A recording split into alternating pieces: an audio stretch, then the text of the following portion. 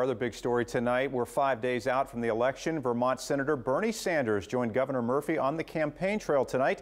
Both were at Rutgers University. Sanders looking to turn out young voters for the governor next week. News 12 New Jersey's Alex Sedan joins us tonight from New Brunswick. Alex? Senator Bernie Sanders is the most influential name in progressive politics. He sits as an independent in the U.S. Senate, but ran for president twice as a Democrat and remains very popular with that party's base. Rallying tonight here at Rutgers alongside Governor Murphy, Sanders put his progressive seal of approval on the governor's first term record. I am here because your governor is one of the most progressive, if not the most progressive governor in America.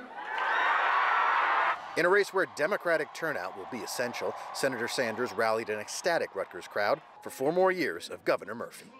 It is absolutely imperative that every person in this room comes out to vote. You bring your uncles, your aunts, your friends. Let's do it. New Jersey is proving that what he stands for and what he believes can work for the United States of America. Yeah, look, I'm delighted to be here. Following the rally, Senator Sanders told News 12 that the governor's progressive policies represent the future of Democratic politics. You have a governor here who has shown that he stands up for working people, stands up for women's rights, stands up for uh, needing to deal with climate change. Easy bringing in Bernie Sanders. During a town hall in Fairlawn around the same time, Republican gubernatorial nominee Jack Ciattarelli told supporters the governor's reliance on bringing in surrogates like Sanders and former President Barack Obama to campaign for him is evidence of Republican momentum. He can bring in the ghost of FDR. We're winning on thing. We're winning on thing.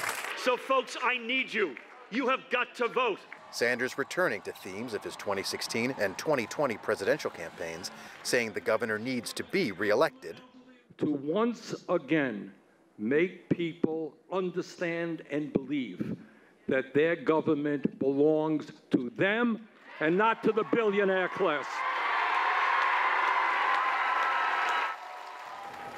Sanders rushing up from Washington, D.C. to this rally and heading right back down for intense negotiations, trying to ensure that progressive priorities like paid family leave are part of President Biden's $1.5 trillion social spending framework.